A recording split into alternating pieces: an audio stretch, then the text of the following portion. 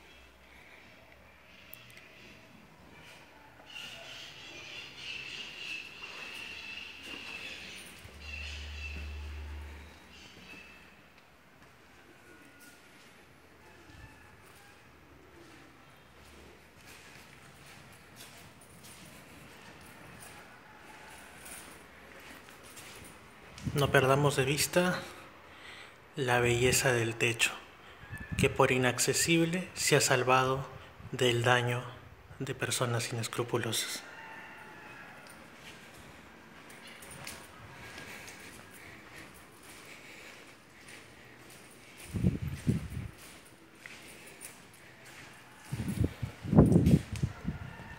Este es uno de los accesos a los que fueron calabozos.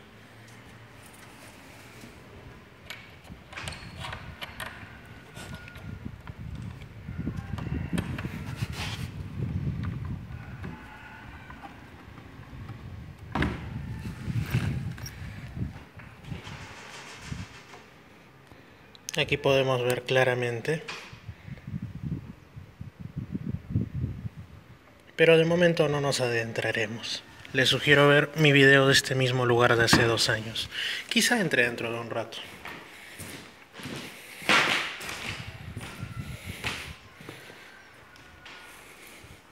Otra bañera. Vivía gente muy limpia por aquí. Y aquí una rotura del piso que nos muestra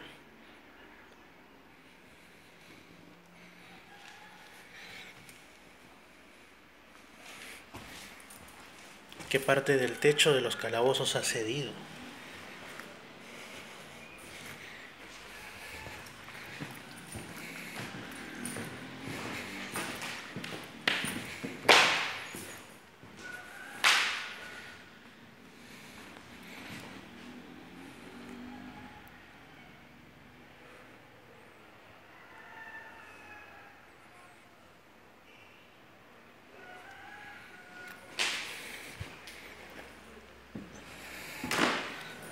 Cuando vinimos el año pasado, aquí había un, un hueco.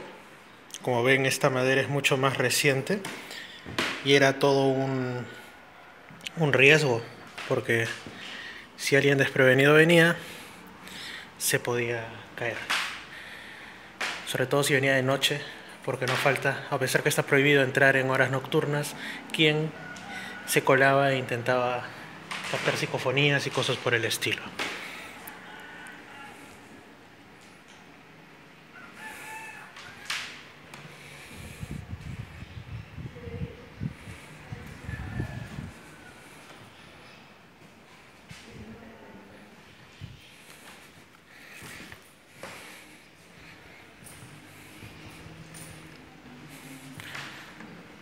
Por aquí un antiguo reloj. Ya no tiene manecillas, pero nos indica aún que es de origen londinense, de la tienda Spencer y Perkins.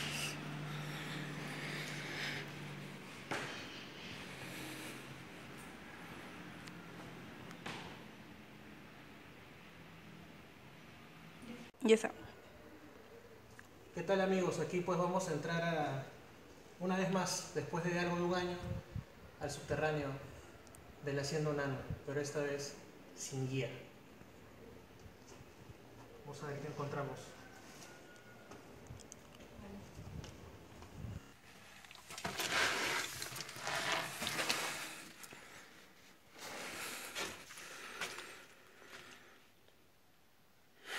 No es lo mismo entrar aquí con guía que entrar a solas. Me han comentado mis amigas que son de aquí de Cañete que aquí ha habido incluso, o se cuenta que ha habido incluso alguna pérdida.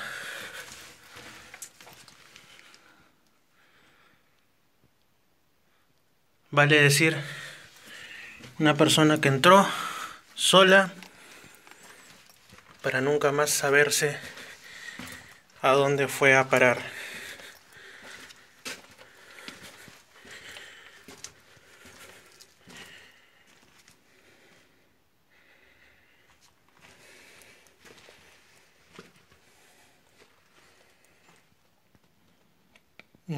Parecen los restos de alguna especie de como de cochecito de bebé o algo así y dicen que esto continuaba o continúa incluso ahora hacia la playa de Cerro Azul.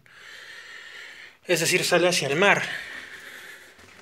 Pero, bueno, una fotito para luego analizar. Pero fue cerrado porque esa chica hace muchas décadas atrás se perdió y no encontró el camino de regreso. El ambiente, tal como lo pueden ver también en las opiniones vertidas en el video de la vez anterior que vine, el ambiente se siente bien pesado y no solamente por la humedad y por que obviamente son subterráneos, sino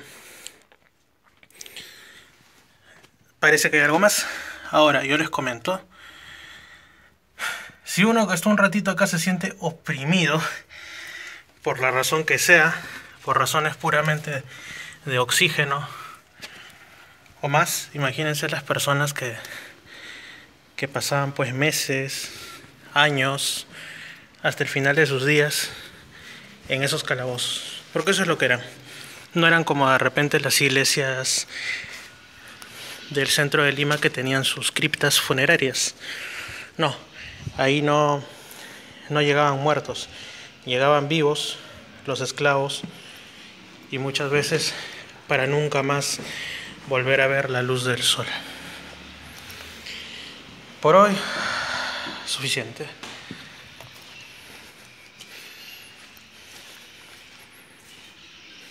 Sigamos recorriendo. Por supuesto que sí. Pero ya no bajo tierra.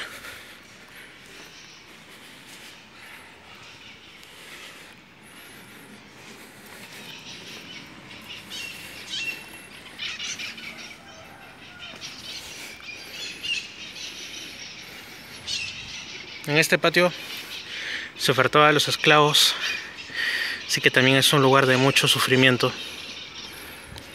Se les castigaba también. En sí todo este lugar es bastante pesado. Si quieren ver más, pues busquen mi otro video del Castillo Unanue, grabado hace algo más de un año en este canal. Por ahora, el día está claro, nos llama a la playa.